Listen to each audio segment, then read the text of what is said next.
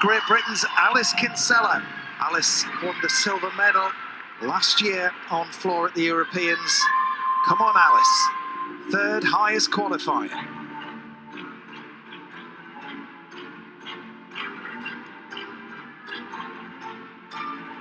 So very important opening tumble here. One and a half twist. Walk out. She has to cleanly be round the triple twist. She is.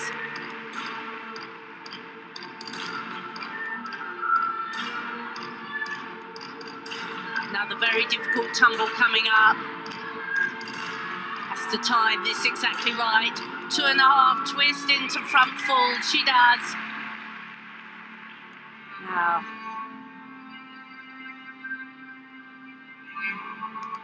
Very expressive dance work here. She needs to really sell it to the judges. And this is important, this spin. Oh, and she's gone for the extra triple spin there.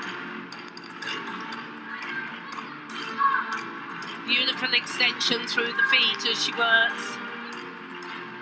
Big leap series. Come on, Alice. Just one big double back to go. Focus hard. Chest up. She does.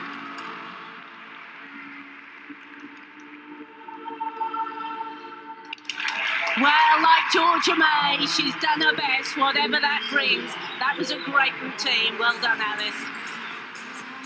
Alice knew the challenge that lay ahead. She packed in all of the difficulty that she could muster. This is going down to tenths.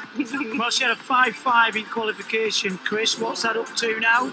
Well, it's probably 5-6, and it's really whether they feel her execution can go high enough. She hasn't got so much difficulty as some of the others. Well, 13.666 is a European medal at the moment.